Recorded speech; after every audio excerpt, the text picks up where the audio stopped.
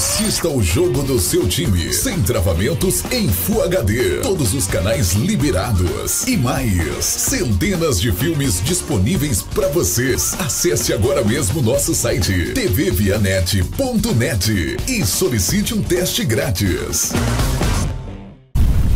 Canal Sou Vitória, o maior canal do Vitória no YouTube. Falar do primeiro Bavi do ano? Vamos. Esperava-se muito do Bahia, né? Era tido Ah. como favorito. O senhor do Bahia estava com um discurso de, de confiança e de favoritismo antes do clássico. Ao meu ver, os que chegavam para mim, maior do que o torcedor do Vitória. O torcedor do Vitória estava meio receoso. Pô, o time não tá tão bem, as contratações não foram badaladas. Mas com a bola rolando, todo mundo foi premiado. Dois golaços. Dois golaços, hein? Um a um esse primeiro Bavi, esse primeiro encontro do- dos dois times na Fonte Nova, em jogo válido pela Copa do Nordeste.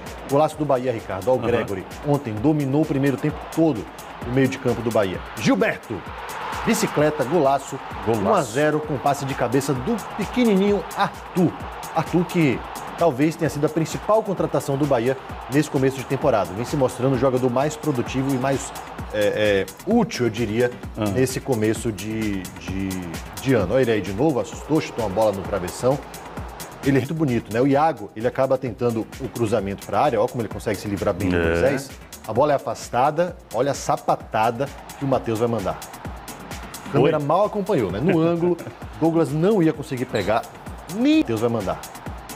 A câmera Oi. mal acompanhou, né? No ângulo, Douglas não ia conseguir pegar, nem se ele tivesse mais próximo, nem se ele tivesse baixo da linha. Chute muito forte. É, sobre esse jogo de ontem, acho que os dois principais jogadores, Ah. é, eles costumam ser coadjuvantes. De um lado, o Gregory, do outro, o Rodrigo Andrade. Dois volantes, Ricardo. Isso é curioso, né? Porque são jogadores que, que têm por característica a saída de jogo, o bom passe, o toque de bola. Acabou aquela história do volante que só faz marcar, que só faz bater, destruir jogada. Isso aí ficou pro passado, né? Parece que Bahia e Vitória, nesse começo de temporada, encontraram os seus destruir jogada. Isso aí ficou pro passado, né? Parece que Bahia e Vitória, nesse começo de temporada, encontraram os seus jogadores para fazer esse tipo de serviço. De fazer a, a- a destruição da jogada, de roubar a bola e ajudar a construir. Gregory no primeiro tempo foi o senhor do jogo, né? Inclusive deixando o Rogério de cara pro gol. É, o Rogério acabou perdendo um gol feito. E no segundo tempo, passou muito pelo Rodrigo Andrade essa recuperação do Vitória. Marcelo Chamusca, claro, deu uma mexida no time no vestiário. E o time voltou melhor dominando o segundo tempo.